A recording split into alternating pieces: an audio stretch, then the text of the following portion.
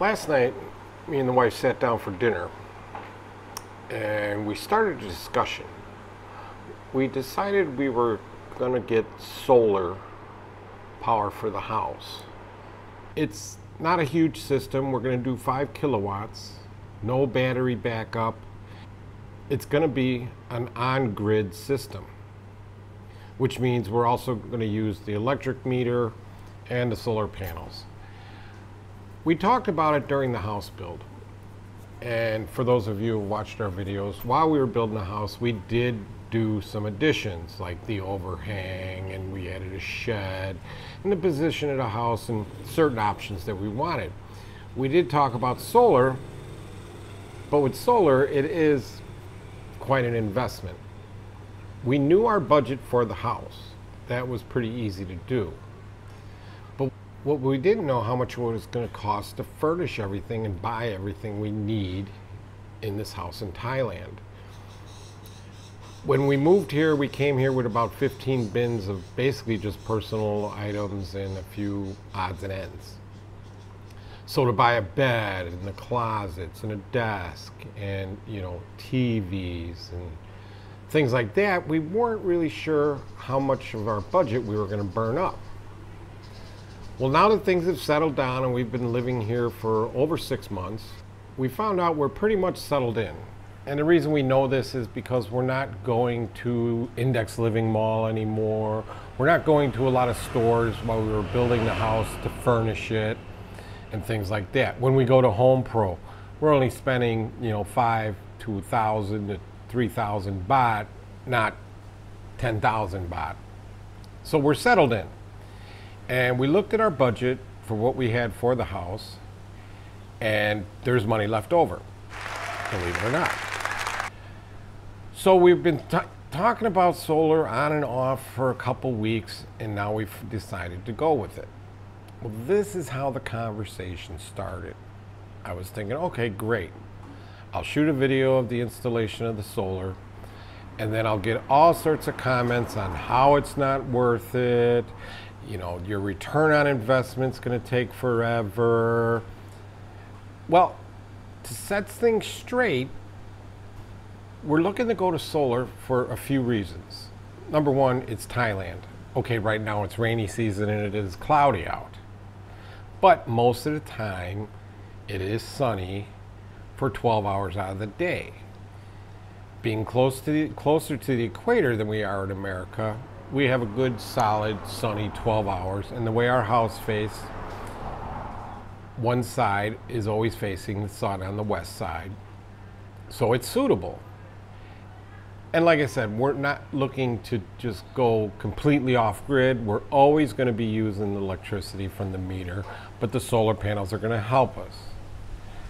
Now that being said the reason we're doing it is because both of us feel that this is our forever home. Things can change, time goes by, but the one thing I like about here is we're settled into pretty much a Thai community. We're not uh, in a village, you know, we're not way out in the countryside, but we're not in a major city.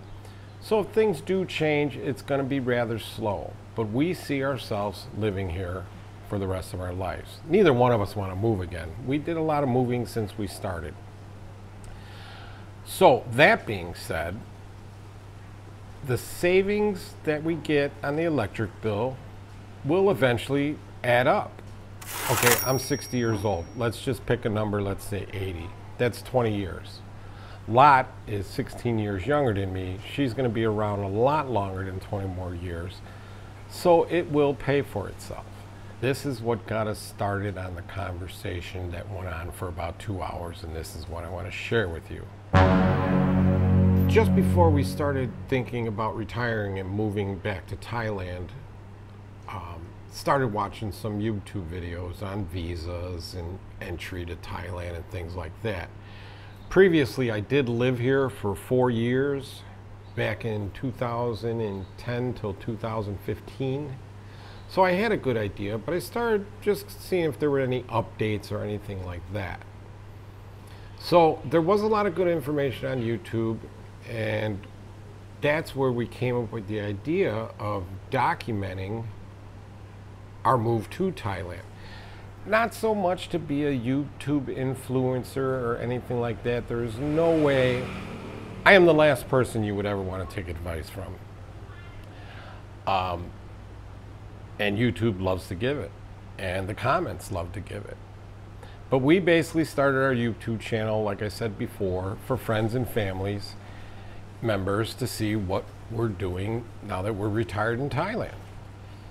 And the one thing we really do like about YouTube with the with the videos that we have made, some nights we like it's like a movie night and we go back and watch our journey here to Thailand and what we did when we first got here. It's kind of like when I was a kid and my dad would break out the Super 8 movie projector and we'd see Christmases from, you know, 1967 or something like that. So I do enjoy the documentation of that. And since moving here to Thailand, I do watch a lot more YouTube. When we were building the house, I was watching other guys build houses and stuff like that. Well, the algorithm picks up on what you're looking at and starts suggesting other things. And this is where the conversation turned last night after mentioning, okay, we'll get the comments about this and the comments about that. When we did our house building series, there were a few, 99% of the comments were positive, but there were a few comments of, you're an idiot, your wife is going to move their family into the house, and eventually you're going to get kicked out because you can't own anything in Thailand. Okay, that might be true and it does happen. And then actually, YouTube has suggested a few of these vloggers that, uh, how can I say, they tell other people's stories about their nightmares here in Thailand with Thai women. And they're all negative because, let's face it, you don't want to see a car just driving down the road. You want to see that car wrecked. So these guys concentrate on stories of where they've come over to Thailand and a Thai woman has taken everything from them and left them broke back in their home country again. And that I understand. It does happen. But a lot of these vloggers blame the woman. And I'm thinking to myself, wait a minute. If this is the woman's plan and she wants to carry this out on some unexpected foreigner, it's not her fault. Stupid. Okay, so about the comment of she's going to move her entire family in and kick me out, this is coming from somebody who has no idea what our circumstances even are. Like, does he even know that, yes, my wife really has no contact with her family? They're not going to move in? And second of all, I was married when I was in the US. I was married for 21 years. And guess what? You know, we grew apart, we separated, and we ended up getting divorced. She got the house. So it's not something that just happens here in Thailand to everybody who comes here. And this is what these vloggers do. They make it sound like it's the woman's fault and this is why I'm, I'm like I'm thinking last night. I'm like, well, okay, you hook up with you walk into a bar in Thailand where there's many beautiful girls. One finds you attractive, and you start dating them. Same thing in America. When I was young, I would go to a bar, meet a girl, start dating them. Sometimes it works out, sometimes it didn't. And not once while I was dating a girl in America, after a couple weeks, she would say, I love you so much, I want to spend the rest of your life with you, but I need a salary of 30,000 baht a month. Can you help me out? Or I'd say $1,000 a month. Uh, that would be a tale to head for the hills, and it's just something that doesn't happen. So why would a guy come over here and think it's okay? So it's his own fault. And the next point is, as I got older, I had a job where um, I traveled all over the world. And that's one of the reasons I ended up in Thailand. Uh, in America, we have strip joints. Uh, Canada has strip joints. Canada, you have the best strip joints. But anyways, when there'd be a crew us crew of us out and we finish up a job, we usually ended up at one of these strip joints. And basically, it's a bunch of girls dancing around poles, and you go and buy them drinks, and you pay them for lap dances, and they'll sit with you, and they'll pretend they're your girlfriend. But that's what they're doing. They're pretending. There's no difference from what happens there than what happens here. So why these guys think, oh, this girl really likes me? They're there. It's a business. So you can't blame the girl. Uh, the first time I came to Thailand was in the early 90s. This is before the internet really took off. I had no idea where even Thailand was. Um, in school, nothing really ever happened here that was in the history books. So it, I knew it was in Asia, but that was about it. Uh, upon arriving, I didn't know. Is it safe? You know, can I walk around? And I basically, for the first couple few days, just had a car take me to work, drop me off at the hotel, and I spent the nights there. Uh, one day, I wandered out and I went to a shopping mall. And inside that shopping mall was a grocery store. Whenever I went to a foreign country, I'd always go to a grocery store for some reason, just to see the different foods and stuff like that. I find it interesting. And the fruit really grabbed my eye because I seen fruit here at this grocery store that I've never seen before in my life. And somebody came up and asked me if I needed any help or what I was looking for. And that happened to be Lat. She worked at a grocery store in the Mall Bangkapi for about 10 years. And we had a little small talk, and that was about it, and I left. Well, as time went by on this trip, I hooked up with some other contractors on the job, and they introduced me to Nana Plaza. I was pleasantly surprised, not to say the least. But when I walked in there, I knew exactly what I was walking into. And then once again, you hear these vloggers talk about how these Thai girls take advantage of these guys. That's their job. That's how they earn a living. And why so many people are so naive, I don't I don't claim at all to be the smartest guy in the world, but I could figure that out. And that's what makes me mad about these vloggers. They're saying that all Thai women are the same. Well, I went home, loved Thailand, volunteered whenever there was another job here, and a few few years later, you know, my wish came true and I got sent back to Thailand. And while I was here, I was a lot more savvy. The internet was out, I could look things up, I knew it was safe, and I was familiar with it a little bit. And that's another thing, not to get off subject.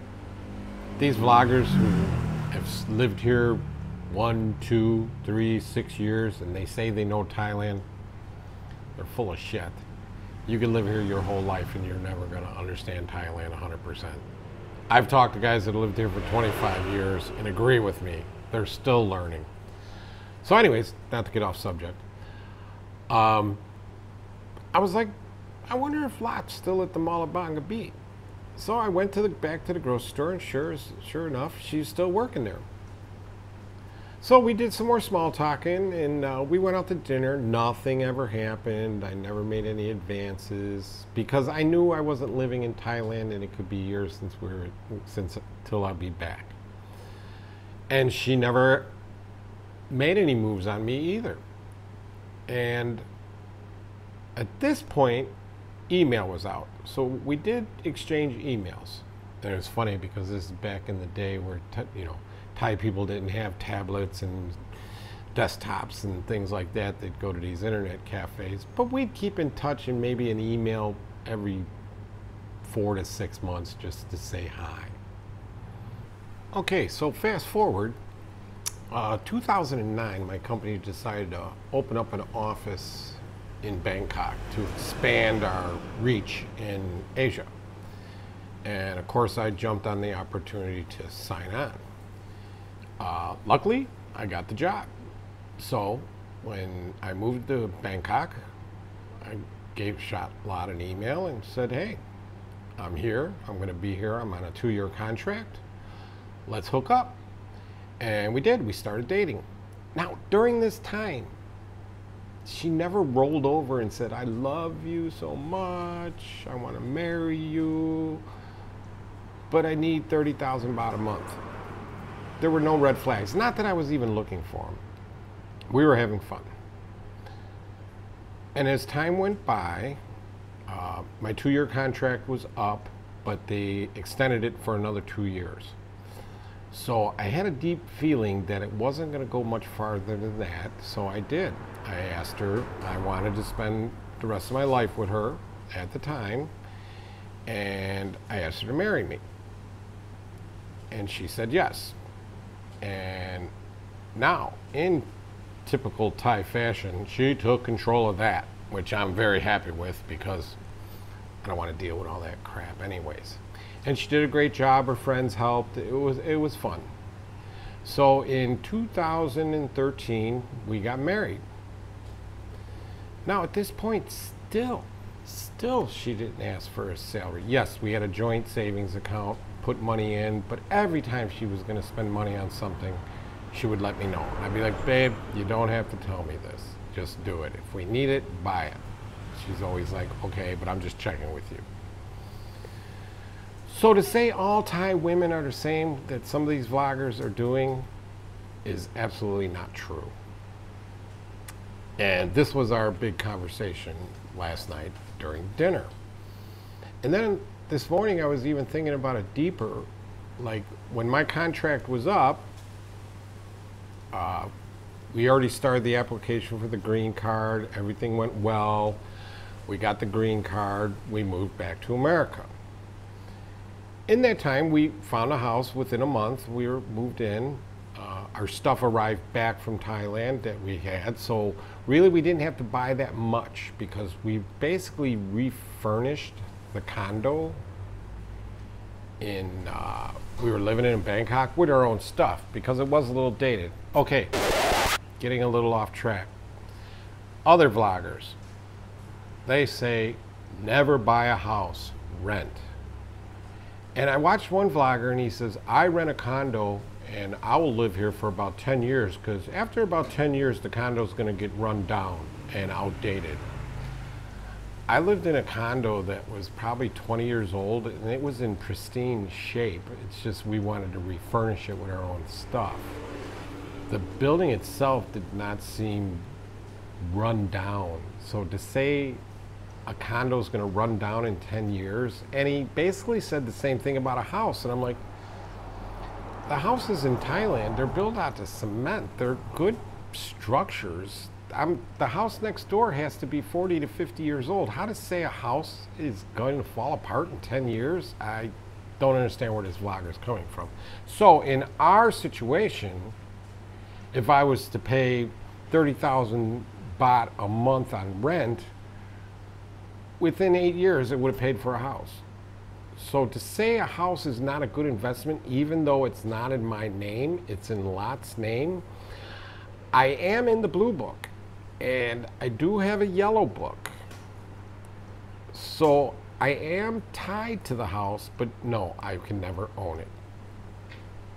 Okay, back on subject. So when we went back to America, Lat just didn't want to lay around the house eating chocolates. She said she wanted to work. And we worked on that, but then realized it's not really going to happen because she doesn't have a driver's license. So we bought a car. She got her learner's permit. She practiced for six months, did all the driving time she had to do, and went for the driving test and passed. So now she knew how to drive and get around America. In America, we don't live we didn't live in a big city. We lived in the suburbs, so you really can't walk anywhere. You have to drive. So this was a perfect opportunity and she got a job at Amazon and a fulfillment center. Not too far from the house. And I know people say bad things about Amazon, but it was a really good paying job for her. And I opened up, we had a joint checking account. We had a joint savings account. And then I said, open up a savings account in your name and put your check in there and you could buy whatever you want. And she did. And it worked out great because I was able to handle all the bills and the overhead of the house and things like that. Every once in a while, she would help if, you know, I got a little behind or something like that, but not very often. And she was able to build up quite a decent nest egg because she wasn't very material. But I will have to say, she did love the price of name brand tennis shoes in America because they didn't have the 300% markup like they do here in America. And she did build up quite a collection on that, all with her own money. And she also liked the purses. So she did get a lot of Coach purses. And one time we went, she did buy one Louis Vuitton wallet which was actually pretty cool to go to because they are so expensive. You get like a salesperson. It was almost like buying a car. They were like, well, what are you going to use this purse for? And it was just a very interesting uh, situation I found. And on top of that, with her money in her bank account, basically always financed a vacation back to Thailand once a year. So to say they're all gold diggers and just want to take your money and your possessions is a lie. And that was our whole conversation last night, you know. So, after seven years in America, and of course in 2020, we came back here. And it was funny because we always used to come back in March that way, when we came back to the Chicago area, it would kind of start warming up a little bit. But we had a real hectic year. We decided, hey, let's just go in January. And we did. We came here in January, which we never do. And every time we've come back, because we've always talked about living here in Thailand when I retire, we'd go to different areas to see what we thought. And we came here in January. We stayed in Bang Sari, and we moved around this area a lot, and we really seemed to like it. And uh, luckily, I mean, it, the COVID thing was just starting when we were leaving. Actually, I talked to one friend when we were over here, and he, he mentioned online, he was like, hey, how you dealing with the, the whole Corona thing there? And I'm like, Corona? I'm not, I'm not drinking Corona. I'm, dr- I'm drinking Singha. You know, I didn't even know about it.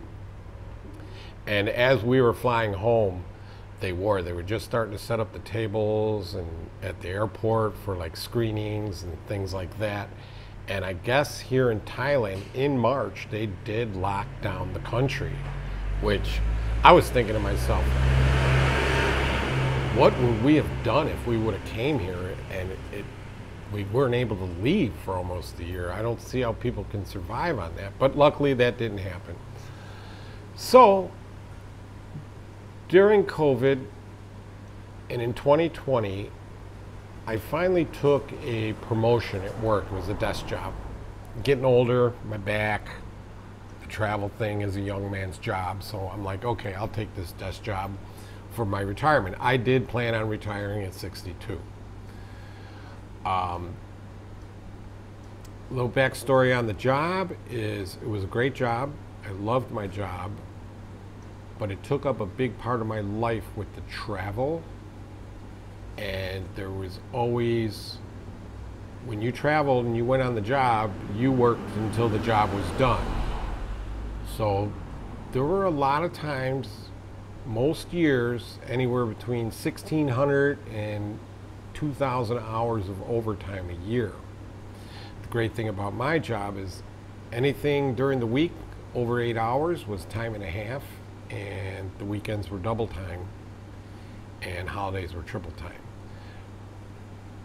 So my 401k grew very quickly. And I did save from day one of being there about 15%. So then the whole COVID thing happens, and eventually we all get sent to work from home. And I hated that. Uh, two years at home working The only time we really went out was to the grocery store on Saturday and then back home. Everything was closed, anyways. There was really nothing to do. And that's when we started talking about, you know, let's go talk to a financial advisor and see what they say. So we did, and he basically told us we can retire right now at 59. Uh, what? And I was like, okay, this guy's crazy. Uh, I'm going to go see another one. And fortunately, the other financial advisor told me the exact same thing the first one did. And he said, of course, if you were planning on like retiring to a condo on Michigan Avenue in Chicago, no. But you're moving to Thailand, 40% less, you know, cost of living. Medical expenses are much less. Insurance is much less. You'll be fine. So at 59, we decided, well, from, if we sell all the cars and the house and the equity we have in the house, we could probably live two or three years just on that. So we did it. At 59, uh, it was really close to my birthday, I, I quit work.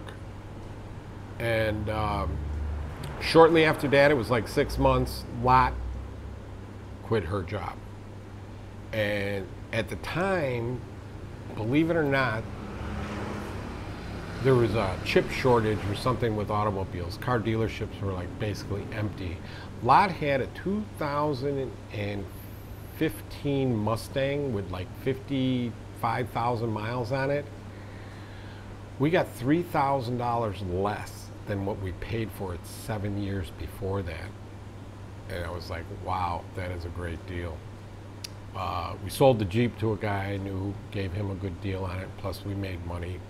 But the best part was is that my granddaughter was engaged to get married, and her, her and her fiance were looking for a place to live.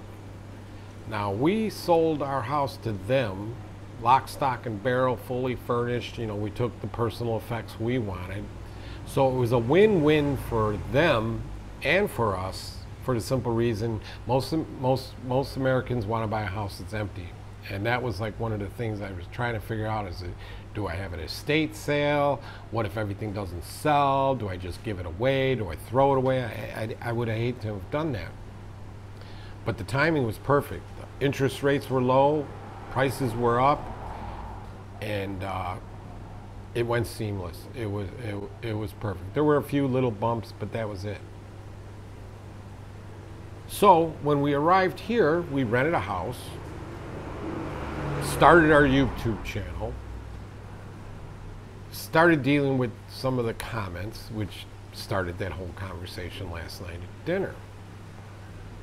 So basically, at this point, we just celebrated our 10 year wedding anniversary. We've known each other for about 20. Um, she still hasn't moved her family in. She still hasn't emptied the bank account. Um, I have no idea, but there was no mysterious Thai husband that moved into the house and kicked me out yet. So to to gather all the Thai women that these vloggers do and they say they're all the same is just just wrong.